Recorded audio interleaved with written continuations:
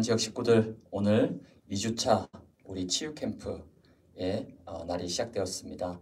어, 지난 1주차 예비 캠프를 통해서 하나님이 우리의 영적 푯대를 붙잡고 어, 40일 집중의 여정 전체를 놓고 시작을 놓고 어, 나의 영적인 위치 또 영적인 상태, 영적인 흐름 이를 통해서 하나님이 정말 원하시는 그런 영적인 회복의 예, 은혜들을 어, 여러분이 누리고 인도를 어, 받았습니다. 그렇게 해서 우리가 1주차를 이제 인도를 받았고 오늘부터는 이제 우리가 2주차 아, 2주차부터가 이제 어, 3주간의 집중 캠프입니다. 치유와 서밋과 어, 전도자라는 중요한 어, 시간표 속에 이제 달려가게 됩니다. 오늘 어, 이번 주는 바로 그 시작인 어, 치유 캠프의 어, 응답을 함께 예, 누리고자 합니다.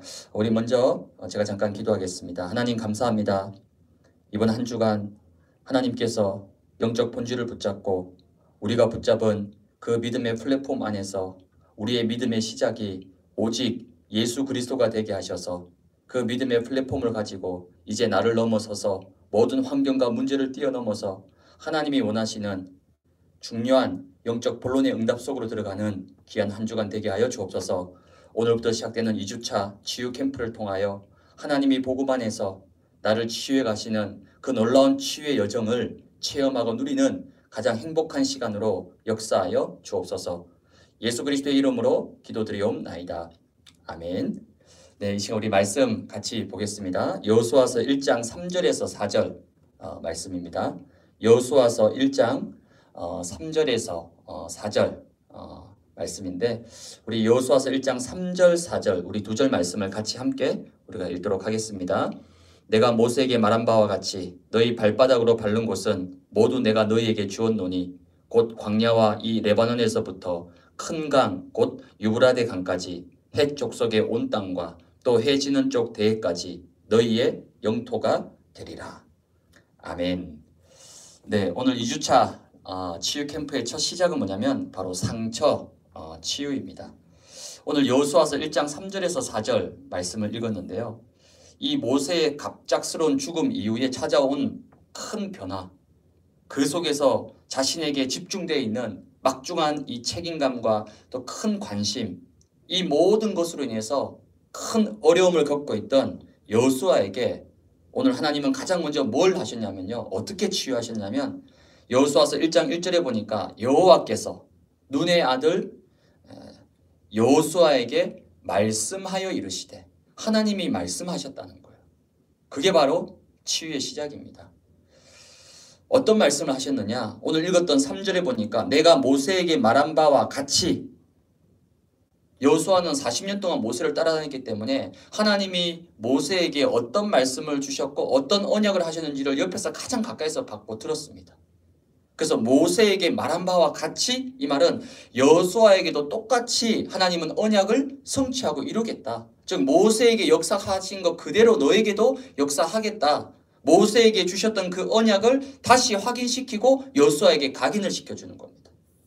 왜 그러냐? 여호수아에게는요 큰 상처가 있었습니다. 어떤 상처입니까? 모세가 죽은 후에 그러니까 모세의 죽음이라는 것이 굉장히 큰 상처였던 거죠. 왜 그렇습니까?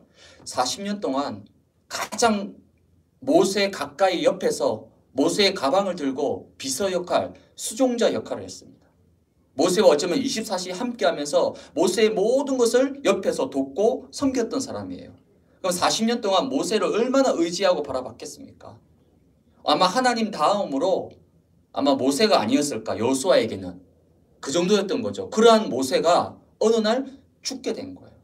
그 모세의 죽음 자체를 통해서 자기가 40년 동안 붙잡고 따라왔던 그 존재가 사라져 버렸으니까 어마어마한 그 의지의 대상이 사라진 것에 대한 상실감, 불안함, 허전함 이런 알지 못하는 큰 이런 상처들이 찾아온 거예요.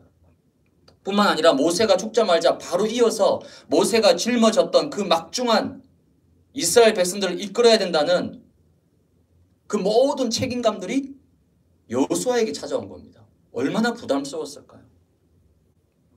그러면서 이 자존감이 완전히 바닥을 치게 된 거죠. 왜 그렇습니까? 이스라엘 백성들에게 모세는요, 거의 하나님은 아니지만은 하나님과 같은 존재였습니다. 그러니까 이스라엘 백성들이 모세가 죽자마자 뭐 그 후임으로 여호수아가 세워졌는데 이게 성에 차겠습니까? 그 대단했던 모세를 봤던 이스라엘 백성들의 그 기준과 수준이 있는데 거기에 비하면 여호수아는요 아무것도 아닌 거예요. 어느 날 모세 뒤에서 꽁무니 따라다니고 가방 들고 다녔던 그 심부름꾼 했던 그 여호수아가 갑자기 모세 자리에 서니까 이스라엘 백성들이 가만히 있겠냐고요. 끊임없이 여호수아를 모세와 비교하는 거죠. 여호수아 이게 듣도 보도 못한 인간이 모세만큼 하겠느냐? 우리를 이끌어갈 수 있겠느냐? 온갖 불신과 의신의 눈초리로 여호수아를 쳐다봤단 말이에요. 그러니까 얼마나 이 자존감이 떨어지겠습니까? 이게 여호수아가 가지고 있었던 어마어마한 상처였습니다. 근데 하나님이 그 모든 것을 다 아시고 오늘 모세에게 말한 바와 같이 모세에게 주신 언약을 다시 각인시켜 줍니다. 그래서 뭐라 말씀하냐 3절에 보니까 발바닥으로 밟는 곳은 모두 내가 너희에게 주었노니 온 땅과 해 지는 대까지 너희의 영토가 될 것이다. 그 정도가 5절에 보니까 너를 평생에 당할 자가 없을 것이다. 모세와 함께 했던 것 같이 내가 너와 똑같이 함께 할 것이다. 즉 언약을 회복시켜 준 겁니다. 여호수아에게서 가장 큰 현실적인 고민 이슈가 뭘까요? 걱정이 뭘까요? 상처가 뭘까요? 내가 과연 모세도 아닌데 모세에 비하면 한참 모질하는데 근데 내가 모세도 아닌데 저 200만 명이 넘는 이스라엘 백성들을 이끌고 어떻게 저 가나안 땅에 들어가서 이방 족속과 싸우면서 그들을 쫓아내고 어떻게 저 땅을 정복할 수 있을까? 아마 거기에 대한 많은 두려움과 불안과 염려들이 있었을 겁니다. 그걸 하나님이 아시고 말씀을 주신 거죠. 즉 모세의 죽음 이후에 왜 여호수아에게 이러한 상처와 아픔이 찾아왔습니까? 그 이유는요 딱 하나입니다. 잘못된 기준이에요. 즉 잘못된 믿음에서 시작된 거예요. 하나님이 원하시는 믿음의 시작은 뭡니까? 하나님이 원하시는 믿음의 플랫폼이 뭐죠? 내가 아니라는 거예요. 내가. 오늘 여호수아는요. 내가 하겠다는 거예요.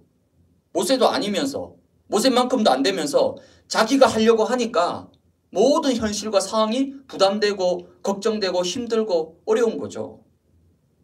우리의 믿음의 시작은 뭡니까? 내가 아니에요. 오직 예수 그리스도. 근데 이 여호수아는 착각한 거죠. 자기가 뭔가를 나름대로 해야 된다고 생각한 겁니다. 그래서 오늘 이 상처 치유, 상처를 치유하기 위해서는요, 뭐부터 치유해야 되느냐? 기준을 치유해야 됩니다. 아니, 상처 치유랑 기준 치유니 무슨 상관이 있느냐? 모든 상처의 시작이 어디서 시작됩니까? 모든 상처, 왜, 왜 상처의 이유가 뭐죠? 그게 오늘 여수아처럼 잘못된 기준, 틀린 기준을 붙잡고 있기 때문에 계속 상처를 받는 거예요. 즉, 나 중심의 기준 속에 있기 때문에 상처를 받을 수밖에 없는 거예요. 에이, 목사님, 목사님 잘 몰라서 그런다고. 에이, 목사님이 안 겪어봐서 그런다고. 목사님이 안 당해봐서 그런다고. 과연 그럴까요? 제가 안 겪어봤다고 생각합니까? 제가 안 당해봤다고 생각합니까? 제가 목사니까 처음부터 태어날 때부터 목사로 태어나서 그냥 처음부터 막 순탄한 길을 걸어서 이 자리까지 왔다고 생각합니까? 뭐 유 목사님 늘 가끔 그러니 자기는 간증 못한다고 자기가 막 간증하면 막 이 그 안 된다는 거예요. 뭐 저는 그 정도는 아닙니다. 근데 저도 이 자리에 서기까지 여기에 오기까지 또 제가 처음부터 목회자가 아니잖아요. 저도 청년까지는요 일반 청년이었습니다. 늦게 신학을 시작했고 세상에서 학교 다니고 일도 하고 그런 과정을 다 밟고 왔습니다. 게다가 저에게는 또 7년간 미국에서 유학 생활이 있었습니다. 또 이 예원에서 지금 횟수로만 14년째 사역을 하고 있습니다. 그럼 제가 안 당해보고 안 겪어보고 그런 거 모르겠습니까, 여러분? 아, 그래서 어떤 분들 아, 목사님 이분이 막 2주차가 치유 캠프니까 막 특별히 막 기대하면서 막 상처 치유 오늘 그 첫 시작이 오늘 상처 치유니까 아 목사님이 우리를 엄청 위로하고 막 따뜻하게 보듬어주고 품어주고 따뜻한 말로 위로해주고 그럴 줄 알았는데 오늘 첫 시작부터가 막 기준 막 잘못된 기준이고 나 중심의 기준이고 에이 막 실망이라고 어, 그럴 수 있죠. 근데 여러분이 바라는 그 따뜻한 위로와 이거는요 제가 이번 40일 끝나고 나면요 실컷 해드릴게요. 뭐 차도 사드리고 막 커피도 한 잔 대접하면서 제가 막 하겠습니다. 그 40일 끝나고 나서 진짜 중요한 치유는 뭐라고? 상처 치유는 뭡니까? 이거예요. 이걸 놓치면 안 된다는 겁니다. 그래서 기준 치유, 무슨 기준입니까? 나입니다, 나. 즉, 나란 말은 무슨 말이죠? 모든 것에 내가 뭐죠? 주인되어 있다는 거예요. 내가 다 주인되어 있습니다. 내가 주인 되어 있는 이 여기서 벗어나 버리면 모든 것이 상처가 되는 거예요.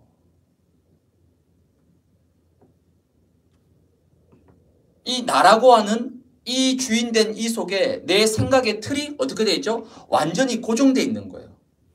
즉, 나 중심의 세계에 완전히 갇혀 있다는 겁니다. 그래서 모든 말과 모든 상황을 어떻게 하죠? 내 안에서 내가 주인 되어서 그것을 해석하고 판단하고 바라보는 거예요. 받아들이는 겁니다. 그러다 보니까 어떻게 되죠? 늘 피해의식을 가지고 있는 거예요. 피해의식. 즉, 피해, 내가 늘 피해받았다는 거예요. 이러한 생각의 가장 깊은 곳에는 뭐가 있습니까? 바로 자존심이라는 거예요. 그게 이불 주 우리 강단 말씀의 가장 중요한 키워드입니다. 자존심. 이 자존심은 뭐냐면요. 물론 사람이 자존심이 있어야 되죠. 자존심 없는 사람 누가 있습니까? 크든 작든 다 있습니다. 근데 이 자존심이란 건 뭐냐면요. 결국 자기 방어예요. 자기 방어. 좋은 말로는 자존심 그러면 뭐 나를 지키는 나를 보호하는 그런 최후의 보루가 될 수 있는 건데 실상은 그렇지 않습니다. 더 이상 내가 남에게 무시당하고 싶지 않다는 거예요. 남들이 나를 우습게 보고 쉽게 여기고 그것 때문에 남들에게 상처받고 싶지 않다는 거예요. 그래서 아예 스스로 내가 먼저 내 자신의 보호막을 쳐버리는 겁니다. 그게 자존심이에요. 여러분 연예인들 중에서 보니까 캐릭터 있잖아요. 캐릭터 중에서 뭐 센 언니 그래가지고 막 누구 누구 누구 막 나오더라고요. 겉으로 봤을 땐 캐릭터가 센 언니 막 세고 강하고 막 근데 그는 겉의 모습이에요. 그런 사람일수록 그 내면은 어떻게 되어 있습니까? 굉장히 약하고 소심하고 상처를 많이, 많이 받은 사람들입니다. 그러니까 자존감이 완전히 낮은 거죠. 정체성이 약한 거예요. 그래서 자기를 보호하려고 자존심을 센 척합니다. 자기를 우습게 여기지 못하게 하려고, 자기를 무시 못하게 하려고. 이번 주 여러분 주일 강단 말씀 뭐였습니까? 이방 여자. 마태복음 15장에는 이방 여자라고 되어 있지만은 마가복음 7장에 똑같은 내용이 기록되어 있는데 거기는요 정확하게 헬라 여자 헬라인 헬라인이라는 겁니다. 더 정확한 출신까지 나와 있습니다. 스로보니게 족속이라고 나와요. 스로보니게 족속. 이 스로보니게 족속도 어디 살았냐면 저 팔레스타인 지중해 연안 쪽에 살고 있는 족속이었습니다. 거기 출신이라는 거예요. 그러니까 완전 이방인 중에 이방인인 거죠. 이 이방인이 예수님께 너무 다급해가지고 너무 급박하고 절박한 상태 속에서 예수님께 찾아왔습니다. 도와달라고. 그때 예수님이 뭐합니까? 완전히 개무시한 거예요. 쉽게 하면 개 취급을 한 겁니다. 나하고 그게 무슨 상관이 있느냐? 나 그런 거 관심 없다. 너 같은 인간에게는 관심이 없다. 그건 내 알바가 아니다. 이 정도로까지. 그러면요, 세상적인 눈으로 바라보면요, 완전 밥맛인 거죠. 완전 싸가지 없는 거죠. 그렇게 얘기하는 게. 세상에서도요, 길거리에서 막 급박하게 죽기 직전에 도와달라는 사람은요, 그렇게 내팽개 칩니까? 내몰차게 막 몰아칩니까? 안 그러잖아. 근데 예수님은 나하고 상관없다. 내 알 바 아니다. 나 그거 모른다. 나 그거 관심 없다. 그럼에도 불구하고 이 이방 여자가 어떻게 합니까? 예수님께 완전히 매달리는 거예요. 아마 저 같으면요, 뭐 이런 인간이 다 있냐고 아마 들이박았을 겁니다. 왜요? 상처가 많아가지고 그걸 못 견디는 거예요. 그 상황과 그 말을 못 받아들이는 거예요. 왜 그렇습니까?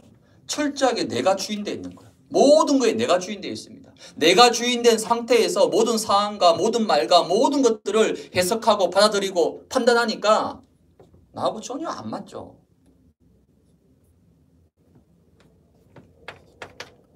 그래서 기준 치유가 무슨 기준입니까? 정확히 말하면 내 기준을 치유해야 되는 거예요. 내 기준이 뭡니까? 창세기 3장 5절에 보니까 눈이 이 선악과 먹으면 네 눈이 밝아져서 하나님처럼 될 것이다. 선악을 알 수 있게 된다는 거죠. 선악의 기준이 하나님께 있는데 마귀가요 이 선악과 먹으면 네 눈이 완전히 열려가지고 이제 네가 하나님처럼 선악을 판단하게 된다는 거예요. 그러니까 선악이 네 개 있는 거예요.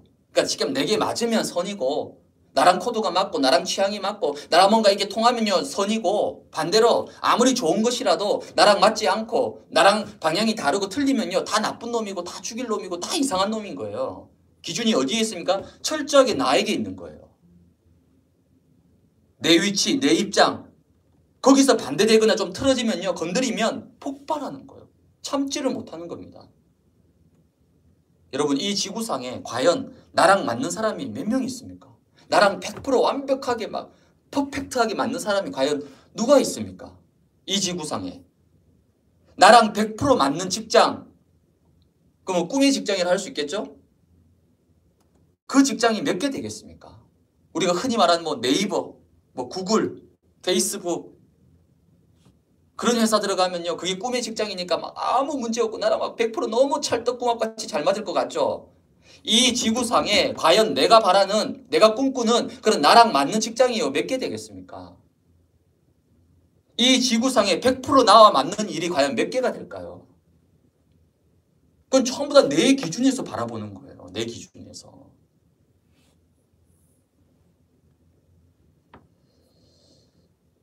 창세기 3장에 보니까요. 재밌는 말씀이 나와요. 선악과를 먹고 나서 하나님이 이제 뭐라고 얘기합니까? 먹지 말라 명령한 그 나무 열매를 누가 먹게 했느냐? 아담에게 물어본 거예요. 그러니까 쉽게 말하면 야 선악과 누가 따먹게 했느냐? 물어본 거예요. 그때 아담이 뭐라고 대답합니까? 창세기 3장 12절에 보니까 하나님이 주셔서 나와 함께 있게 한 그 여자 때가 그 여자가 내게 나무 열매를 줬기 때문에 내가 먹었다라고 얘기합니다. 아니 하하가 하하가 나한테 줘서 먹겠다라고 해도 좀 되는데 그게 아닌 거죠. 앞에 뭐라 얘기하면 분명히 하나님께 분명히 딱꼭 집어서 얘기합니다. 뭐라 얘기하죠? 하나님이 주셔서 나와 함께 있게 하신 그 여자. 그 무슨 말이죠? 쉽게 말하면 속으로 하나님 앞에 대놓고 말은 못하고 하나님이 만들어서 내가 달라고 한 것도 아닌데 하나님이 만들어서 나에게 주신 그 여자 그 여자가 나무 열매를 줬기 때문에 내가 먹었다는 거예요. 이 정도로요 사람이 코너에 몰려버리면요 이제 막 아내도 가족도 뭐단뭐 부인하고 내팽개 치는 거예요.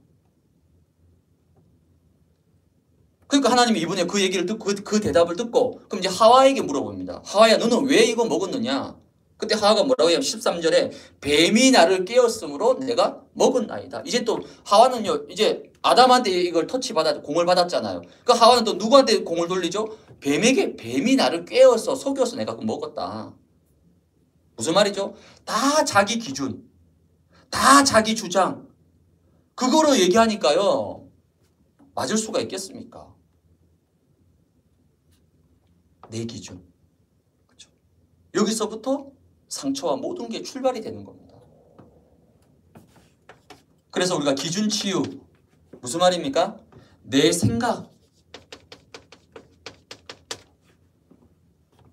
상처가 주로 어디서 시작됩니까? 상처가 주로 어디서 오죠? 어떤 특정한 행동이나 말이나 사건, 일로 인해서 생깁니다. 근데 그건 아니에요. 왜? 어떤 일이나 사건이나 문제와 아픔은 누구나 이 땅을 살면서 다 겪습니다. 크게 겪든 많이 겪든 적게 겪든 겪게 돼 있다니까요. 그럼 이 지구상의 모든 사람이 다 상처받아야 되고 그 일로 인해서 그 사건으로 인해서 아니거든요. 어떤 사람은 똑같은 일을 겪었는데 상처를 안 받아요. 어떤 사람은 똑같이 당했는데 상처를 안 받는다니까요. 그럼 이 상처가 주로 어, 어떻게 오게 되는 겁니까? 어떤 일과 상황과 그 사람과 말을 겪었을 때 거기서부터 내가 어떻게 생각하고 어떻게 해석하고 어떻게 받아들이냐에 따라서 상처가 될 수도 있고 안 될 수도 있다는 거예요. 그럼 무슨 내 생각이 그만큼 중요하다는 거예요. 내 생각. 더 영적으로 정확히 말하면요. 내 상태가 너무나 중요하다는 거예요. 내가 이래서 영적으로 충만하고 말씀 충만하면요. 누가 나를 욕하고 100% 거짓말을 얘기하고 그렇게 해도요. 그게 절대 말리지 않습니다. 거기에 막 해석하고 그게 아니라고 변명하고 아니면 그거 놓고 막 따지고 덤벼들고 그렇게 하지 않는다니까요. 왜? 그냥 우습습니다. 그냥 웃고 돌아서서 속으로 기도합니다. 그냥. 그게 성령 충만 영적 상태죠.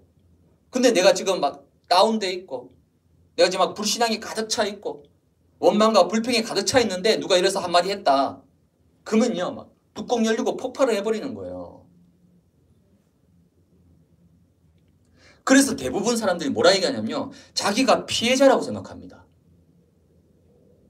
내가 피해자라는 거예요. 다 물어보면. 그러면요, 가해자는 아무도 없어요. 아니, 가해자가 없을 수가 있습니다. 누군가가 가해자가 했기 때문에 피해자가 있는 건데, 다들 피해자라고만 얘기해요. 그럼 가해자가 없어요, 그러면. 누가 한 겁니까, 그러면? 아니면요, 원인, 누가 누구 때문이다, 누구 누구 때문이다, 누구 잘못이냐. 다 이 생각 속에 잡혀 있죠. 그래서 오해를 하는 거예요, 오해. 이 오해로부터 점점 점점 커지고 부풀어져 가지고 어마어마한 상처 속에 탁 묶이게 되는 거예요. 이게 바로 틀린 기준, 잘못된 기준 속에 있으면 늘 상처받고 상처에 치이면서 살아가는 겁니다. 그래서 오늘 여러분 상처 치유. 어, 제가 뭐 심리 상담가도 아니고 그렇죠? 그렇기 때문에 뭘 이렇게 여러분들을 뭐 이렇게 저는 하나님 말씀을 가지고 여러분들에게 정확한 사실과 정확한 필요한 부분을 얘기할 수밖에 없는 거예요. 여러분 속에 있는 우리 속에 있는 많은 상처들 어떻게 해야 되느냐? 제일 먼저 기준을 봐야 돼요. 대부분 내가 주인되어 있는 상태예요. 내가 주인되어 있어요. 그러다 보니까 내 기준이 모든 것을 다 판단하는 거예요. 특별히 내 생각 여기 딱 잡혀 있기 때문에요. 모든 것에 있어서 나는 피해자고 나는 상처받은 사람이고 저 사람은요 나를 아프게 만든 사람이고 힘든 사람 그러니까 모든 문제 사건이 다 다른 사람 다른 쪽에 다 있는 거예요. 난 잘못한 게 없다는 거예요. 난 그저 피해받고 상처받았다는 거예요. 흔히 우리가 그걸 보고 피해자 코스프레라고 합니다. 우리가 한번 냉정하게 생각해 봐야 돼요. 어디에 기준을 두고 있느냐? 뭐가 기준이 되어 있느냐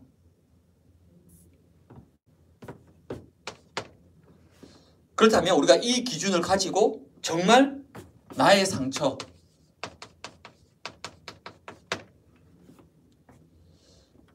어, 상처 없는 사람은 여러분 아무도 없습니다. 크든 작든 다 상처가 있어요. 우리가 흔히 말하는 remnant 7명 정말 위대한 summit 중에 summit이잖아요. 그 remnant 7명에게는 상처가 없었겠습니까? 오직 영광과 축복과 찬란한 뭐 태양과 빛과 비단길 같은 뭐 그런 그거밖에 없었겠습니까? 아닙니다. 성경에는 기록 안 돼 있죠. 왜? 성경은 영적인 거 구속사 중심으로 기록됐으니까 그런 거는 기록 안 돼 있습니다만 우리가 충분히 성경의 배경을 보고 묵상해 보면요. 모세 모세는 상처 없었겠습니까, 여러분? 모세는 왕궁에서 진짜 자기 엄마 누구죠? 요게벳 그 요게벳을 보면서 젖을 먹고 하루에도 뭐 몇 시간씩 보잖아요. 근데 그 엄마를 진짜 엄마잖아요. 그 엄마를 엄마라고 부를 수가 없는 거예요. 아니 모세의 마음에 정말 아, 엄마 여러분 진짜 힘들고 어려울 때 엄마가 생각이 나고 엄마란 이름, 엄마란 존재 이게 얼마나 큽니까? 근데 모세는요 그 엄마가 눈앞에 있는데 심지어 자기에게 젖을 주고도 있는데도 모세는요 그 요괴뱃을 엄마라고 부를 수가 없는 거예요. 그게 여러분 얼마나 큰 상처가 되겠습니까? 그러면서 왕궁에서 물론 왕자지만은 서열상으로는요 3, 4위 자기보다 위에도 있단 말이에요. 또 양자잖아요 양자. 그렇죠. 왜냐하면 혼자 피부가 하얀 왕자고 나머지는 다 시커먼 사람들인데 누가 봐도 알죠 양자라는 거를. 그러면 앞에서는 막 대놓고 얘기 안 하겠지만 뒤에서 얼마나 호박씨를 까고 막 얼마나 씹었겠습니까? 괄시와 무시를 당했겠어요. 사람들 입에 오, 오르락 내리락 했겠습니까? 또 나중에 지도자가 돼서 이스라엘 백성 이건 지도자가 돼서요. 이 이스라엘 백성들로부터 보이지 않는 상처가 얼마나 크겠습니까? 그렇게 기도하고 최선을 다해서 이끌었는데 돌아온 건요 욕밖에 없는 거예요. 모세를 늘 원망하고 늘 막 모세가 과연 그게 없었겠습니까? 모세도 사람이고 인간인데. 또 우리가 아는 요셉. 동생을 낳다가 엄마가 죽었습니다. 그럼 그 기껏해야 몇 살이겠습니까? 여섯, 일곱 살, 뭐 유치원생 정도 안 되겠습니까? 엄마가 가장 필요하고, 엄마의 따뜻한 품과 엄마의 따뜻한 그게 필요한 그 나이 때에 엄마를 잃어버린 거예요. 그러면서 배달은 이복 형제들이 늘 구박하고 못 살게 굴고 그 상처 없었겠습니까? 가정에 대한. 그러면서 또 노예로 갔을 때 이 보디발 아내가요. 자기는 너무, 너무나 정직하고 깨끗한데 그런 자기를요. 오해 만들어서 막 함정에 빠뜨려 가지고 감옥으로까지 보낸 그 보디발 아내에 대한 그 상처가 요만큼이라도 없었겠습니까? 요셉도 사람인데 인간인데 다 있습니다, 여러분. 없는 사람이 없어요. 그래서 대부분의 상처가 주로 뭐냐면요. 과거의 상처입니다. 거의 대부분요, 과거의 상처예요. 물론 오늘 받은 상처도 있고, 최근에 받은 상처도 있지만요, 주로 뭡니까? 과거에 있었던 상처예요. 즉, 과거에 내가 크게 실패하고, 큰 어려움을 겪고, 어떤 일을 겪으면서 큰 충격을 받았다든지, 그게 주로 과거잖아요. 근데 그 과거의 상처 중에서 대부분 그 상처는 뭡니까? 사람으로부터, 사람으로부터 오는 거예요. 사람으로부터. 여러분이 막 동물한테, 짐승한테 상처받고 물건한테 상처받는 게 아니잖아요. 사람이, 그것도 어떤 사람요? 가족. 가장 가까운 사람. 가까운 사람일수록 그만큼 배신과 기대가, 기대가 크다 보니까 그게 채워지지 않으면요. 배신이 큰 거예요. 실망이 큰 거예요. 그래서 과거의 사건과 과거의 일과 그 과거의 상처의 특징이 뭐냐면요. 그래서 쉽게 잊혀지지를 못하는 거예요. 왜? 너무 컸기 때문에. 이게 너무 확실하게 박혀버렸기 때문에 그 상처를 잊지 못하고 계속 또 생각나고 또 생각나고 또 생각나고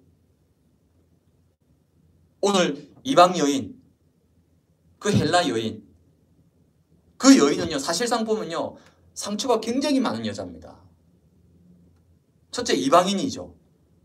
그것도 이방인 중에 이방인입니다. 팔레스타인에 사는 이방인이니까. 그러면요, 이 유대의 선미 사상의 이 틈바구니 속에서 얼마나 치였겠습니까?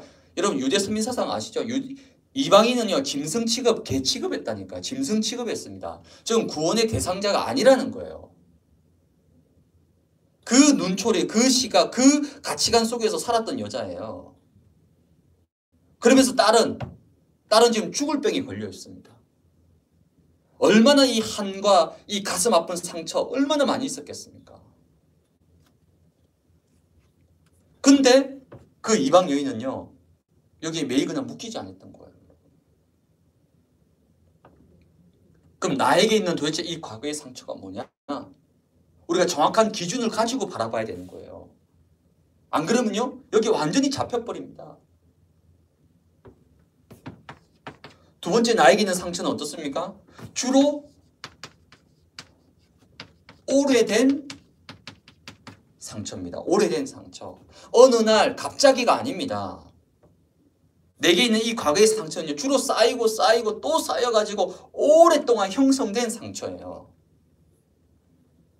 어느 정도로요? 이미 내 마음과 생각과 내 영혼 속에 완전히 각인 뿌리가 내려져 버린 거예요. 어느 정도로 내 영혼에까지 완전히 영향을 미칠 만큼 내 영적 상태를 좌지우지할 만큼 예배 때 은혜 받고 심지어 훈련도 받고 간증도 하고 그렇게 했던 그 은혜들이 이 과거의 오래된 상처 한 번 하나에 와르르 다 무너져 버리는 거예요. 그 정도로 나 안에 깊게 오래 쌓여져 있다는 거예요. 그래서 이 오래된 상처가 뭐가 됩니까? 올무가 되고 올무, 올무. 올무 아시죠? 짐승들 잡을 때 덫을 놓잖아요. 그 올무에 딱 잡혀버리면요 못 빠져나옵니다. 몸부림치면 칠수록 더 조여옵니다. 그리고 아예 완전히 틀이 돼버린 거예요. 틀. 도저히 못 헤어나오고 못 빠져나온 틀이 돼버린 겁니다. 마치 운명 사주팔자처럼. 그래서 이미 어른이 됐어요. 는 과거의 상처는 여러분 어릴 때 자라면서 성장 배경, 환경 여러 가지 속에서 생기는 일들이잖아요. 그게 십수년 전에 오래 있었, 전에 있었던 일인데도 불구하고 이미 시간이 많이 흘렀어요. 내가 지금 어른이 됐어요. 나이도 들었습니다. 수십 년이 지났어요. 근데 여전히 내 생각과 내 마음과 내 감정을 지배하고 올마 매고 있고 얽매이게 만드는 뭡니까? 창살 없는 감옥이라는 거예요. 감옥은 감옥인데 창살 없는 감옥이에요. 왜? 내 생각과 마음과 내 감정과 나의 모든 것을 완전히 지배하고 누르고 있는 거예요. 이 과거의 오래된 상처가. 창살 없는 감옥입니다, 여러분. 그러니까 우리 애들이 지금 제일 좋아하는 최애 프로그램이 하나 있습니다. 그게 이제 동물의 농장. 요즘 이제 동물의 농장을 이제 몇 년간 보다가 이제 갈아타서 뭐 보냐면 이제 세상에 이런 일이로 이제 넘어갔습니다만 한동안 이제 동물의 지금도 뭐 동물의 농장 좋아합니다. 저도 가끔씩 보거든요. 애들 보니까 옆에서 보다 보면요. 유기견 아시죠? 유기견은 버려진 주인한테 버림받은 개잖아요. 그 주인에게 버림받은 개도요. 그 개잖아요. 개 동물이잖아요. 그런데 상처가 있어요. 상처. 주인에게 버림받았다는 그 상처. 더 제가 참 충격적인 건요. 투견. 투견이 있더라고요. 싸우는 개. 그 철장 안에요. 개와 개를 싸움을 붙여서 서로 물고 뜯어 죽이는 거예요. 기도 뜯어 먹고 막 눈도 막 빼고 막 만신창에 그를 매일매일 싸워야 되는 거예요. 투견입니다. 그거를. 그러다 이제 경찰이 막 덮쳐가지고 이제 다 도망가고 이제 개, 그 투견장이 남아있던 개들을 중에서 일부 개를 그 동물 개 아주 유명한 어떤 그 보호하는 그 사람이 그 개를 특별히 데리고 와서 자기 그 어 뭐 사무실인가 뭐 거기 거기서 이 개를요 치유해 나가는데 한 1년 정도가 걸리는 거예요. 개가 자기 자신한테 마음의 문을 절대 열지 않는 거예요. 왜? 자기를 버린 걸 넘어서서 자기 같은 개를 물어 뜯어 죽이게끔 만드는 걸 1년 몇 년 동안 계속 그 투견 일을 했잖아요. 거기에 대한 상처, 이 개가. 그개 보호사가요. 그 개를 끌어안고 때론 옆에서 기다려주고 먹이도 주고 품어주고 보듬어주고 그걸 1년 동안요. 진짜 지극정성으로. 그래서 겨우 이제 마음의 문이 열려가지고 조금씩 조금씩 이제 회복되는 모습이 그 프로그램에 나오더라니까요. 아니 개도 그런데 아니 개도 짐승도 그런데 우리는요 사람이잖아요. 영적 존재잖아요. 영혼을 가지고 있잖아요. 그럼 지금 내 속에 있는 이 과거의 상처, 이 과거의 상처가 오랜 상처로 나에게 지금 올물로 틀로 완전히 나를 지금 잡, 잡고 있다니까요. 어떻겠습니까, 여러분?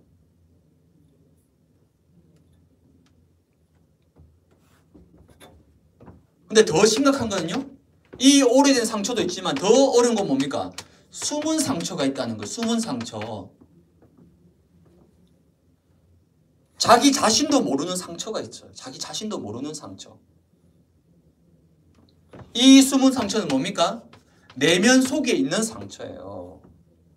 여러분 상처라도 뭔가 내가 발견하고 아는 상처는요 괜찮습니다. 근데 내 내면 속에 깊게 박혀 있는 그 상처, 숨은 상처는요 어마어마 자기도 몰라요. 그게 상처인지도. 제가 그 병 중에서 무 어, 무통증이란 병이 있더라. 무통증. 말 그대로 통증을 느끼지 못하는 병이에요. 아 통증을 못 느끼면 너무 좋을 것 같잖아. 이빨 뽑을 때 통증 못 느끼니까 막 얼마나 좋겠습니까? 주사 맞을 때 안 아프면 얼마나 좋겠습니까? 그건 하나만 알고 둘을 모르는 거예요. 예를 들어서 심각한 병이 찾아왔어. 빨리 병원 가서 치료받아야 되는데 몸에 통증이 없으니까 그게 아픈 건지 병든 건지를 못 느끼는 거예요. 얼마나 위험한 병입니까? 얼마나 치명적인 병이에요. 숨은 상처가 이렇다는 거예요. 무통증. 몰라요. 이게 상처인지. 본인도 모르는 상처예요. 하지만 그 숨겨진 숨은 상처 속에서 모든 감정과 모든 잘못된 것들이 시작되고 출발이 된다는 거예요. 그러니까 자기의 상처를 모르니까 인식하지 못하니까 다른 사람을 원망하고 핑계대고 이유하고 불평하고 막 그러는 거예요. 너 때문이라고. 네 때문에 내 인생이 이렇게 됐다고. 그 일 때문에 지금 내가 이렇게까지 고생하고 있다라고. 나의 상처를 모르고 남 탓을 계속하는 거예요. 평생을 원망하고 평생을 분노 속에서 이를 갈고 그렇다면 내 내면 속에 있는 이런 과거의 상처, 숨은 상처, 오래된 상처 어떻게 해야 됩니까, 여러분? 저와 여러분에게는 이 상처들을 바라볼 수 있는 영적 시각이 필요합니다. 여러분 상처는요 암하고 똑같습니다. 동전의 양면이에요. 그 극복을 하면 엄청난 발판이 될 수 있습니다. 근데 이 상처를 극복하지 못하면요. 어마어마한 트라우마가 되는 거예요. 어마어마한 올무가 되고 내 평생에 내 인생의 걸림돌이 되는 거예요. 그 상처 많은 사람 얘기 들어보면요. 내가 저 사람 때문에, 내가 저 일 때문에 내 인생이 이렇게 꼬이고 내 인생이 이렇게 실패하고 내 인생이 이렇게 주저앉아 있다라고 평생도록 원망하고 저주하는 거 봤습니다. 제가. 그건 무슨 말이죠? 상처가 그 사람에게 완전히 올무 털이 덫이 돼, 덫이 돼 버린 거예요. 그 상처를 뛰어넘어 버리면 치유받으면 어마어마한 발판이 될 건데 그래서 우리에게 있는 이 모든 상처는요, 복음 아니면 안 되는 거예요. 복음으로만 치유할 수 있습니다.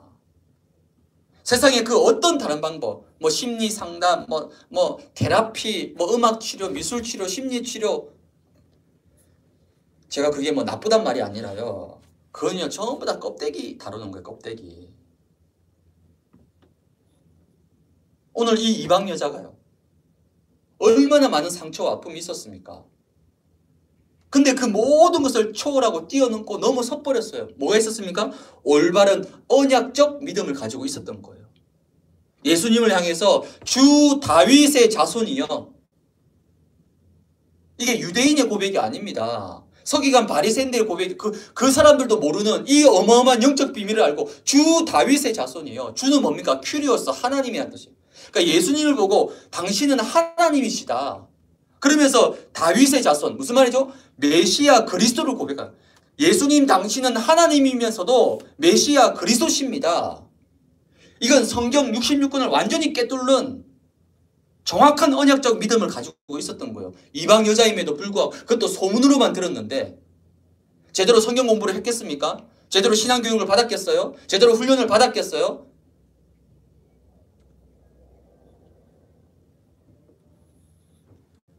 그래서 여러분 우리 안에 있는 이 상처들이 정말 치유가 되고 그리고 내가 가진 나에게 있는 이 상처를 어떤 시각으로 보느냐에 따라서 달라지게 되는 겁니다. 그렇다면 그걸 보고 우리가 뭐라 하겠죠? 영적인 시각이란 말은 관점을 얘기한 거예요. 관점. 어떤 눈으로 어떤 시각으로 그 상처를 바라보고 그 과거의 일을 바라볼 것이냐 거기에 따라서 해석이 달라질 수밖에 없는 거예요. 여전히 내가 주인된 상태에서 내 기준으로 내 생각으로 바라보면요. 그 어떤 것도 다 다른 사람이 잘못했고 다 다른 사람이 나쁜 사람들이고 나만 상처받았고 나만 피해자고 이렇게 될 수밖에 없는 거예요.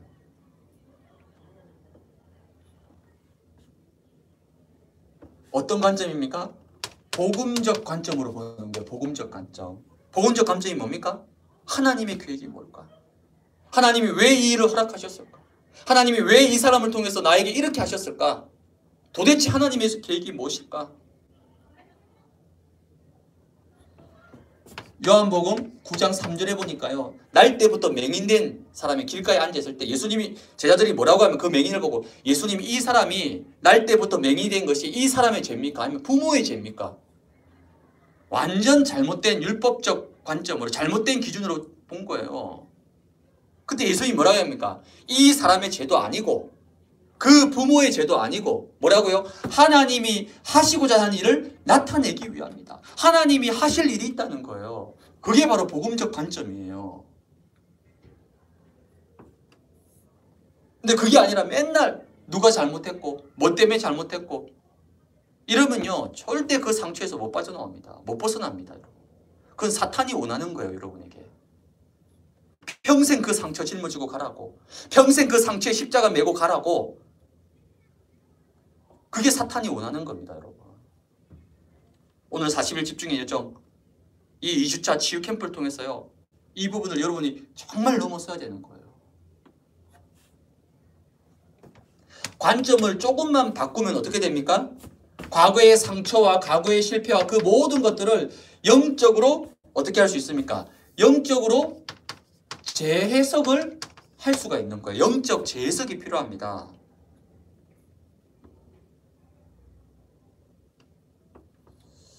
베드로가요. 예수님의 수제자지만요. 그렇죠? 근데 이 베드로에게도요. 어마어마한 상처가 있었습니다. 그게 뭐죠? 예수님을 세 번 부인한 거. 예수님의 제일 첫 번째 탑이 되는 수제자잖아요.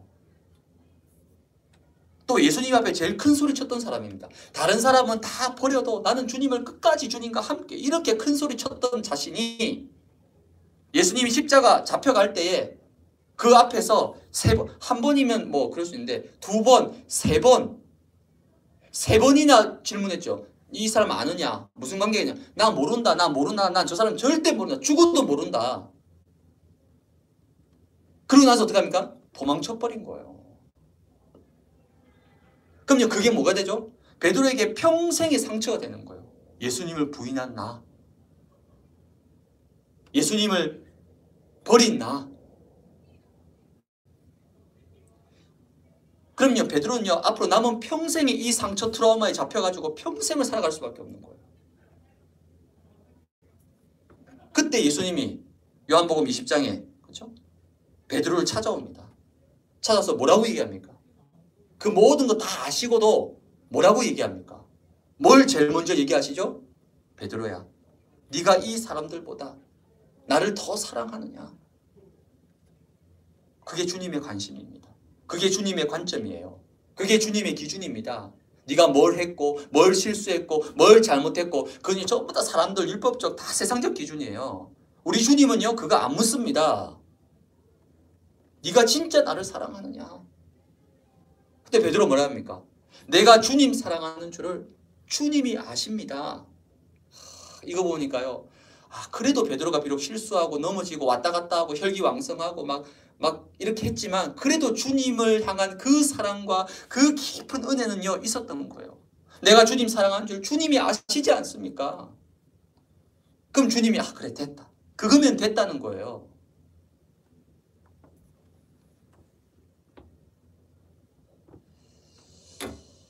여러분 정말 영적으로 재해석해야 돼요. 그 상처, 그 상처 준 그 사람, 그 일, 그 사건 바울도 마찬가지입니다. 스테반을 돌로 치는 일에 제일 앞장섰던 사람이에요. 그럼 나중에 바울이 회심하고 나서 그 일을 생각 안 해봤겠습니까? 만약에 이 바울이 상처가 치유가 안 됐으면요. 바울은 평생 나는 스테반을 돌로 쳐 죽인 일에 앞장선 사람, 주동자. 아마 밤마다 꿈에 시달릴 수도 있습니다. 근데 바울이요. 복음화에서 그 모든 과거를 다 치유받은 거예요. 그래서 뭐라고 고백합니까? 나의 나된 것은 내가 스테반을 돌로 쳐 죽이고 교회를 핍박하고 예수 믿는 사람을 잡아 죽였던 그 모든 과거의 일은 나의 나가 된 것은 지금 내가 예수 그리스도 앞에 설 수 있는 이 모든 것은 하나님의 은혜다라고 얘기했던 거예요. 그게 치유받은 자의 고백입니다. 그래서 여러분 자기는 교회 속으로 절대 안 들어가고 자기는 지역 속으로 안 들어가고 싶다는 거예요. 왜요? 상처받기 싫어서 사람하고 부대끼는 게 싫어서 그래서 교회 속에 안 들어오고 지역 속에 안 들어온다는 거예요. 물론 그럴 수 있고 이해됩니다. 그럼 안 보고 안 만나고 살려면요? 무인도에 살아야죠. 무인도에 무인도에. 아니면 저 화성 목성 왜 지구가 나하고 안 맞으니까 저 화성 목성으로 이민을 가든지 아닙니다, 여러분. 그럼 목성 화성에 가면 또 상처 안 받아요? 상처 받습니다. 무인도에 살면 상처 안 받을까요? 무인도에 혼자 살지만 그 사람은 상처 받을 겁니다. 무인도에서조차도. 그럼 왜 이 상처와 왜 이 아픔 하나님 나에게 주셨는가? 영적으로 재해석하면요. 어떻게 됩니까? 영적 재창조의 응답을 받게 되는 거예요. 영적 재창조 정답이 뭡니까? 그 상처와 그 아픔과 그 일을 통해서 처음에는 아파하고 힘들어하고 눈물 흘리고 너무 어려움 당했지만은 그러나 내가 정말 복음의 관점으로 그걸 바라보면서 영적으로 재해석하면서 하나님의 숨은 계획을 찾으니까 어떻게 됩니까? 이제는 그 상처 때문에 감사를 고백하게 되는 거예요. 감사를 그 상처 때문에 그 과거의 실패와 아픔 때문에 감사를 고백하게 되는 거예요. 고린도후서 11장 30절에 보니까 뭐라고 얘기합니까? 나는 나의 약한 것을 자랑한다. 세상에 그 어떤 사람도 자기 약한 것은 자랑하지 않습니다. 약한 것은요, 대부분 숨기고 감추고 덮어두려고 합니다. 나타내지 않습니다. 말하지 않습니다. 요즘 이 시대는요, 자기 오픈하지 않습니다. 꼼꼼 감춰요. 뭐가 그렇게 감출 게 많은지. 근데 바울은 면 나는 나의 약한 것을 자랑한다. 바울이 약한 것 없었겠습니까? 고린도 후서 12장 9절에는 뭐라고 얘기합니까? 도리어 크게 기뻐함으로 나의 여러 약한 것들에 대하여 자랑한다. 이는 그리스도의 능력이 내게 머물게 하려 합니다. 뭐 한다고요? 나의 여러 약한 것들. 바울이 어마어마한 대전도자지만 반대로요. 어마어마한 약한 것들이 많이 있었습니다. 성경에 기록 안 돼 있지만 가정사 결혼했는지 안 했는지 와이프가 있었는지 없었는지 그 기록이 없습니다. 왜 기록이 안 됐을까요? 뭔가 영적으로 뭔가 그런데 유익하지 않기 때문에 기록이 안 된 거예요. 또 바울의 성격 주로 대부분 견해가요. 아마 진짜 막 개팍스럽고 막 정말 막 까다로운 성격이었을 것이다. 아마 저하고 비슷한 뭐 그럴 수 있겠죠. 예민하고 까다롭고 나쁜 성격이에요. 안 좋은 성격이고 참 진짜 주의 은혜로 살아갑니다. 복음 아니면요 얼마나 참 힘든 사람이겠어요 저가. 바울이 그랬다는 거예요. 또 그뿐만입니까? 바울의 과거사, 과거 이력 있잖아요. 스테반을 돌로 쳐 죽이는 일에 증인됐고 교회를 핍박하고 교회 있는 예수 믿는 사람을 잡아 죽였던 그 사도가 되고 나서도 사람들이 끊임없이 그걸 가지고 바울의 과거를 덜쳐내면서 계속 공격했다니까. 네가 무슨 바, 어, 사도냐? 예수 믿는 사람을 잡아 죽이고 교회를 핍박하고 스테반을 돌로 쳤던 네가 무슨 사도냐? 이게 바울의 약한 것들입니다. 근데 바울은 말하죠. 나의 모든 이 약한 것들에 대해서 나는 자랑한다 자랑. 그만 내가 잘했단 말이 아니잖아요. 이것 때문에 그리스도의 능력이 내게 머물게 됐다는 거예요. 그래서 나는 이 과거의 약한 것 이것 때문에 나는 그리스도가 아니면 안 되는 사람이다. 나는 복음의 은혜가 아니면 안 되는 사람이다. 나는 예수 아니면 안 되는 사람이다. 라고 바울은 고백하게 된 거예요. 무슨 말이죠? 영적으로 완전히 재창조돼 버린 겁니다. 요셉은 상처가 없었을까요? 요셉은 어마어마한 상처, 가정에 대한 상처, 형들에 대한 상처. 형들이 돈 받고 팔았잖아요. 아니 임시 매매단한테 팔려가도 상처인데 그래도 가족이잖아요. 가족. 그 가족이 돈을 처음엔 죽이려고 했다가 안 죽으니까 2차 시도 돈을 받고 팔아버린 거예요. 악타 상인들한테. 다시는 집으로 못 들어올 만큼 저 수천만 리 떨어져 있는 애굽 땅으로 보내버린 거예요. 완전히. 다시는 돌아오지 말라는 거죠. 죽든지 돌아오지 말든지 그걸 겪었습니다, 여러분. 바울이 아니 요셉이. 그러면 그 형들에 대한 이 복수심과 이 원망과 얼마나 클 수 있죠, 충분히. 사람인데 인간인데. 근데 요셉이 창세기 45장에 총리가 되어서 자기 앞에 양식을 사러 와서 무릎 꿇고 있는 그 형들에게 또 요셉을 밝혔을 때 내가 요셉이다라고 밝혔을 때 뭐라고 해 벌벌 떠는 형님들 앞에 저 같으면요 과거에 있었던 모든 잘못한 것들 다 기록했던 거 다 종이 딱 나눠주면서요. 조목조목 따지면서 네가 이거 잘못했고 이때 뭘 잘못했고 다 따지면서 그에 맞는 복수를 했을 텐데 요셉이 뭐라고 얘기합니까? 형들이요. 걱정하지 마소서. 형들이 나를 판 것이 아니라 하나님께서 나와 우리 가정과 가문과 이 시대를 생명을 살리고 구원하시기 위해서 하나님이 나를 먼저 앞서 보내셨다. 나를 판자는 당신이 아니라 하나님이 하신 것이다. 야, 이거는요 요셉의 능력과 수준이 아닙니다, 여러분. 이건 진짜 복음의 능력이에요. 이건 정말 그리스도의 능력입니다. 이번 한 주간 목사님이 또 집중 얘기하시잖아요. 아, 그래도 우리가 좀 감사하더라고요. 아, 그래도 이 전체 흐름 속에 가고 있구나. 목사님이 정말 깊은 집중 속에서 뭐 하라고요? 감사가 회복된다는 거예요. 여러분 이번 한 주간 치유 캠프 물론 매일매일 제가 메시지 하겠지만 오늘은 특별히 깁니다. 좀 이해해 주세요. 왜냐 이 상처는요 워낙 깊은 거기 때문에 오늘 첫날은 제가 좀 길게 할 수밖에 없어요. 하게 뭐 오늘만 길게 했습니까? 지난주에도 길게 했고 뭐 내일 모레도 근데 아마 내일 모레는 이거보다는 길지는 않을 것 같습니다만 어, 장담은 못합니다. 예. 그리스도 외에는 믿을 거 없으니까. 예.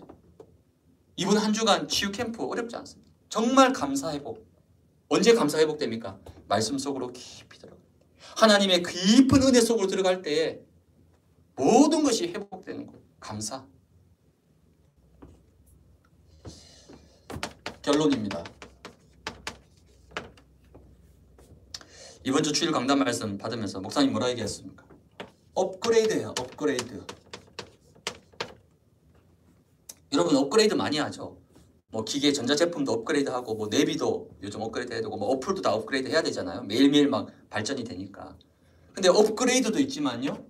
업그레이드에 반대되는 말이 또 있습니다. 그게 뭐냐면요. downgrade라고 합니다. downgrade. 그러니까 up의 반대가 down이잖아. up down, up down. 그럼 downgrade는 뭐냐면요. 어느 영역에서든지 과거보다 한참 못한 상황과 상태를 보고 downgrade라고 합니다. 그러면 여러분 내 신앙이 내 믿음이 내 인생이 업그레이드 되느냐 아니면 downgrade 되느냐 이 경계선에 뭐가 있냐면요 여러 가지가 있겠지만은 요 속에 뭐가 있죠? 상처가 있는 거예요 상처 상처를 복음 안에서 영적 집중 속에서 치유받고 넘어서면요. 여러분의 신앙은 업그레이드가 되는 거예요. 또 한 단계 뛰어넘게 되는 거예요. 근데 반대로 그 상처를 여전히 내 기준에서 내 생각 속에서 내가 주인 되어져서 그 상처를 넘어서지 못하면요. 뭐가 됩니까? 평생 downgrade 정도가 아니라 평생 그 올무 그 틀에 잡혀서 원망과 불평 속에서 영적 상태가 완전히 다운돼 버리는 downgrade가 되는 거예요. 여러분 어떻게 업그레이드로 가야 됩니까? downgrade로 가야 됩니까? 이건 뭐 물어볼 필요가 없는 거죠. 당연한 건데. 그래서 이번 한 주간 가장 큰 영적 싸움의 현장이 뭐냐면요.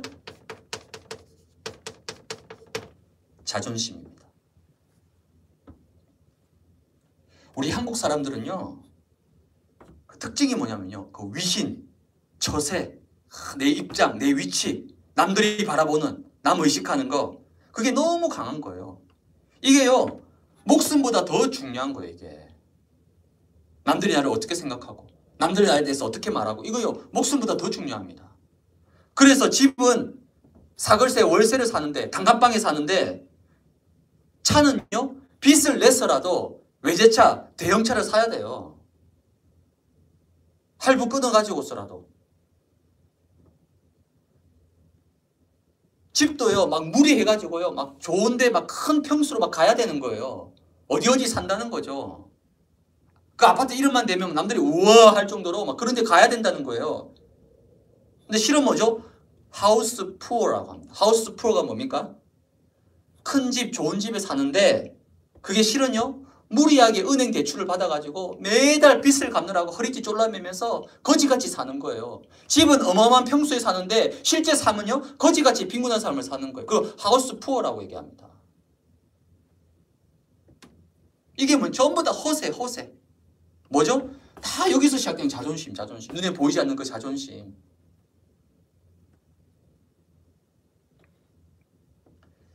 올해는 제가 대만 작년하고 올해는 이제 대만 캠프를 못 하게 됐습니다. 올해도 아마 못 하게 되겠죠. 근데 제가 6년 동안 대만 캠프 매년 가면서요. 그 대만 캠프를 가보면요. 대만 사람들이요. 여러분 대만이 우리보다 작은 나라이고 뭐 그렇지만요. 실제 IT 강국이고 굉장히 중소기업이 발달해 있는 괜찮은 튼튼한 나라입니다. 거기 알부자들이 굉장히 많고 부자들이 많아요. 어제가 시내에 갔는데 성사에 갔는데 진짜 겉으로 봤으니 허름한 옷을 입고 진짜 우리나라 1970년대, 80년대 그런 허름한 옷 있잖아요. 무채색의 그런 허름한 옷 입고 다니는데 알고 보니까 이 사람이 어마어마한 부자란 거, 어마어마한 부자. 재산이 막 수백억이 있고.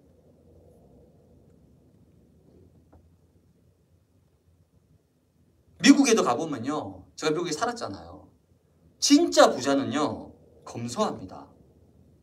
청바지 하나에 티셔츠 하나 입고 그렇게 다닙니다. 근데 우리는요. 어떻게 하니 간에 명품 시계에 뭐 뭐 브랜드에 뭐 뭐 뭘 치장하고 꾸미는지 그만큼 남을 의식하고 자기 자신에 대한 확신과 내용이 없다는 거예요. 그러니까 그 다른 걸로 포장하고 막 다른 걸로 막 꾸미고 치장을 해야 되는 거예요. 그게 어디서 나오는 겁니까? 전부 다 자존심인 거예요, 자존심. 그러니까 사단이 이 자존심을 가지고요, 완전히 무너뜨리는 거예요. 왜 이게 아킬레스 끈이니까.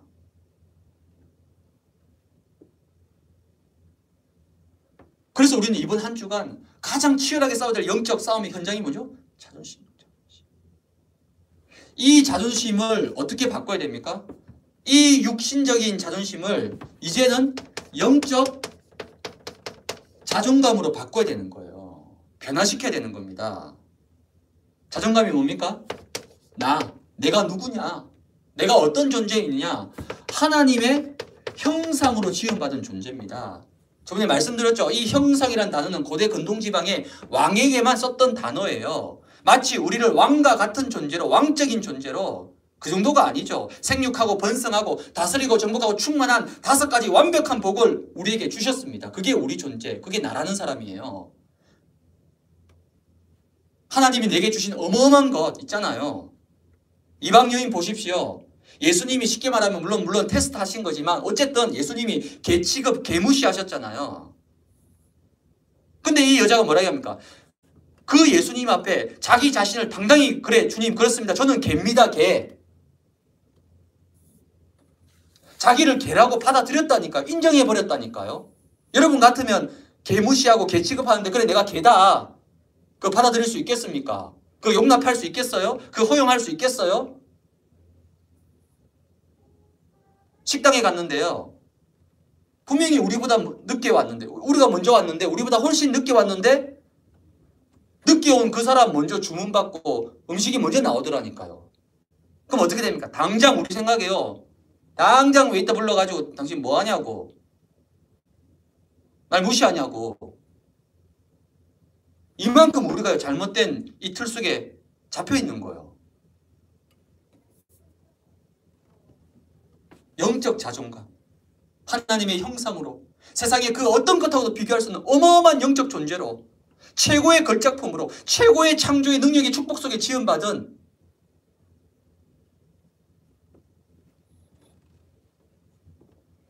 그게 자존감입니다. 자존심을 넘어서서 자존감, 우리는 영적 자존감입니다. 내가 얼마나 존귀하고 귀한 존재인지 이번에 전도 대상자 뭐 이렇게 적는 미션이 있잖아요. 그 30명 모르겠습니다. 이번에 전체적 팀장들 포럼하고 얘기 들어보니까 막 30명 뭐 어떤 분들은 뭐 쉽게 쓰는 분도 있고 어떤 분은요 몇 명 적는 것도 막 쥐어 짜내야 되고 여러분 꼭 30명이 기준은 아닙니다. 그 말은 무슨 말이죠? 정말 내가 이번에 사실 집중의 여정 속에서 말씀에 은혜 받고 집중하다 보면 하나님이 생각나게 하는 사람 기도가 나오는 사람 품어진 사람이 있잖아. 그걸 한번 우리가 찾아보자는 겁니다. 왜? 나만 치유받아서는 안 되잖아요. 나만 서밋이 되면 안 되잖아요. 그래서 그 명단을 적은 다음에 뭐 할 거냐? 그 명단을 품고 2주차 치유 캠프부터 뭐 하느냐?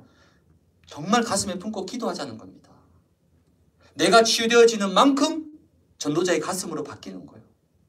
이젠 그 사람을 미워하고 그 사람을 정지하고 판단하는 것이 아니라 정말 주님의 마음과 그리스도의 십자가의 사랑으로 극률의 눈으로 그 사람을 바라보고 아 그래서 복음이 필요한 사람이다. 정말 복음이 아니면 안 되는 사람이다. 그래서 기도가 달라지는 거예요. 그렇게 기도하다가 또 그 사람을 생각하면서 구원의 길을 그리면서 그러다 보면요 하나님이 분명히 문제 사건 만남을 주신단 말이에요. 그때는 어떻게 하는 겁니까?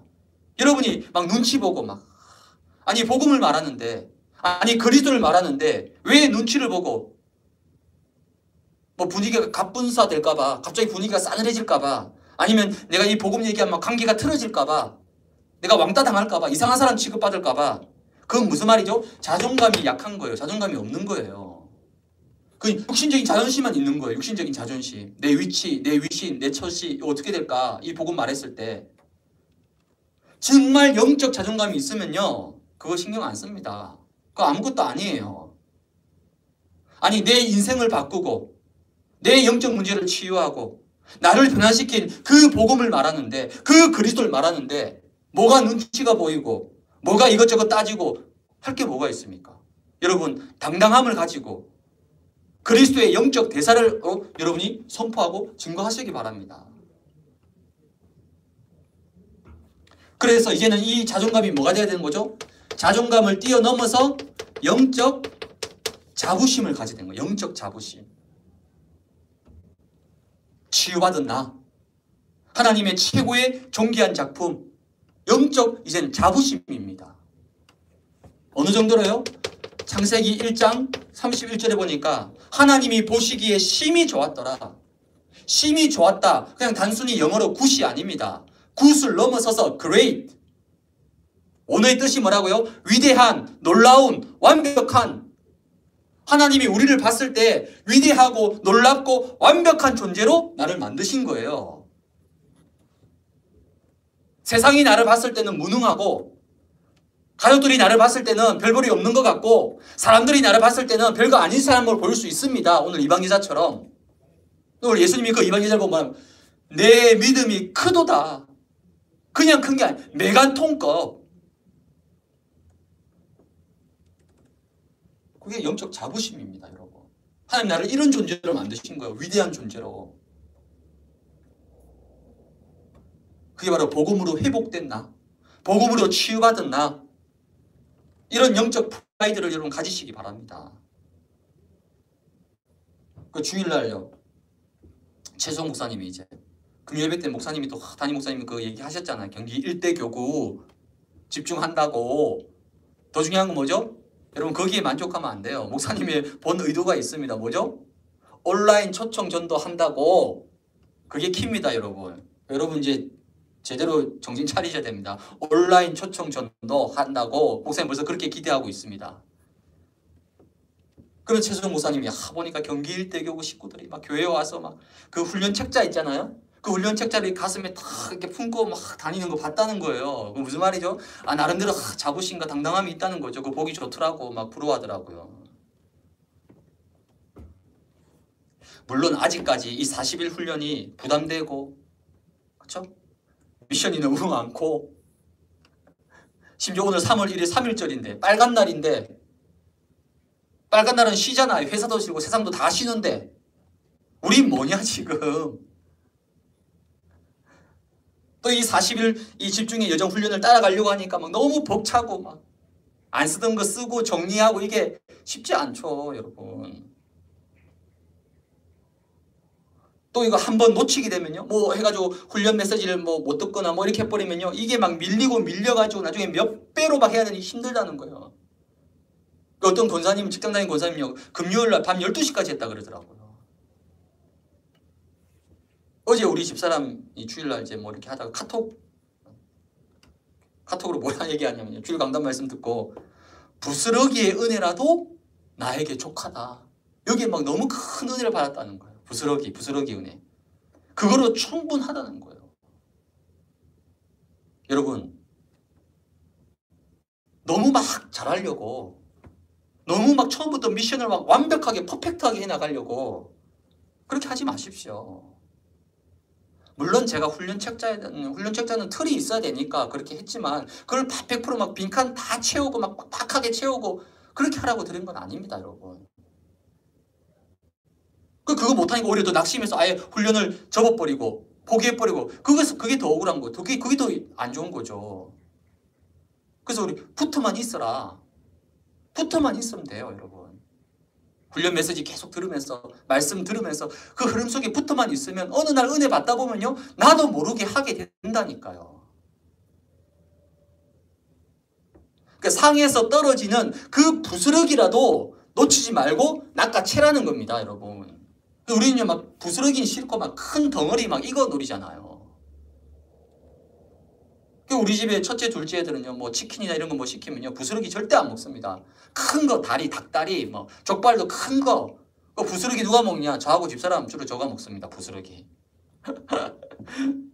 오늘 이 이방 여자는 주인의 상에서 떨어지는 부스러기라도 그걸로도 족하다는 거예요. 미션을 꼭 다 해야만이 여러분 집중하는 겁니까? 말씀 정리하고 성구 다 외우고 언약 기도문 다 올리고 감사노트 다 적고 30명 빡빡하게 다 채우고 그래야만이 집중입니까? 그거 다 해도 집중 안 하는 사람이 있습니다. 못하는 사람이 있어. 근데 그거 다 못해도 말씀의 은혜 속에 말씀의 능력 속에 있는 사람이 있다니까요. 상에서 떨어지는 그 작은 부스러기 하나만으로도 만족할 수 있, 족하다 충 왜 복음의 능력 그리스도니까. 우리 막내는 좀 다릅니다. 우리 막내는요 이제 겨우 돌 이제 이제 지나는데 우리가 뭐 식탁에서 이렇게 밥 먹다가요 뭐, 뭐 먹다가 부스러기를 떨어뜨릴 수 있잖아요. 그러면요 얘가요 놀다가 막 그거 발견하는 순간 늑대같이 달려들어서요 손에 그거 딱 쥐고 먹으려고 합니다. 여러분 그런 자세로 상에서 떨어지는 그 부스러기 하나라도 다 기다렸다가요 놓치지 말고 그 부스러기라도 탁 낚아채서 먹는 그게 이방 여인이에요. 그걸 보고 예수님 뭐라고 얘기합니까? 내 믿음이 크도다. 이방 여자여 네 믿음이 정말 크다. 영적 자부심. 여러분 이 마지막 시대, 이 포스트 코로나 시대, 그래도 여러분이 대교구 안에서 이렇게 40일 집중의 영속에 인도받을 수 있고 그 흐름 속에 있고 영적 자존감을 회복해야 되는 거예요. 그래서 여러분 속에 있는 모든 상처, 제가 대교구 사역하면서요 제일 가슴 아팠던 상황과 현장이요 이거예요. 우리 어른들, 우리 기성세대들, 우리 부모님 세대들이 우리 어른들이요. 너무 이게 막 그럴 수밖에 없죠. 복음 없이 살아온 그 험한 세월 속에서 복음이 아닌 다른 것으로 너무 많이 되어 있다 보니까 여러분의 남은 인생은요. 이 상처 때문에 여러분의 남은 인생을 가장 가치 있는 인생으로 가야 되는데 복음 인생으로 가고 사명 인생, 서밋 인생으로 가야 되는데 이 상처에 묶이고 매여 가지고 매일 쏟고 또 쏟고 그건 억울한 일입니다, 여러분. 여러분 이번 한 주간 특별히 치유 캠프입니다. 하는 주신 시간표 제가 억지로 짜낸 게 아니잖아요. 이 치유 캠프를 통해서 정말 여러분들이 하나님의 은혜 속에서 감사가 회복되어지는 모든 상처 바울처럼 나의 약한 것을 자랑한다라고 고백할 수 있을 만큼 내가 도리어 기뻐한다라고 말할 수 있을 만큼 이 상처가 오히려 여러분의 영적 발판이 되어지고 신앙의 간증이 되어지고 이제 다른 사람을 살릴 수 있는 메시지가 되어지는 그런 응답 누리는 우리 모든 지역 식구들 또 훈련받는 우리 모든 성도들 되시기를 주님의 이름으로 축복을 드립니다. 제가 잠깐 기도하고 오늘 훈련 마무리하겠습니다. 하나님 감사합니다. 이번 한 주간 그 이방 여인에게 주셨던 그 부스러기만이라도 족하고 충분하다는 오직 예수 그리스도면 된다라는 그 믿음대로 된다라는 그 메간토급의 확신찬 믿음을 가지고 지금 나에게 있는 과거의 상처, 오래된 상처, 깊은 상처, 숨겨진 그 모든 상처들을 재해석하고 재창조되어져서 하나님이 가장 기뻐하시는 복음 인생으로, 사명 인생으로, 서밋 인생으로 믿음의 여정을 걸어가는 사랑하는 우리 모든 지역 식구들, 우리 사랑하는 성도들 될 수 있도록 하나님 역사하여 주옵소서. 예수 그리스도의 이름으로 기도드리옵나이다. 아멘. 네, 오늘 하루도 비록 3일절이지만 공휴일이지만 여러분이 물론 또 좀 누리고 즐기시면서도 중요한 어, 집중의 흐름 놓치지 않고 어, 오늘 하루 끝까지 승리하는 여러분들 되시기 바랍니다. 내일 뵙도록 하겠습니다.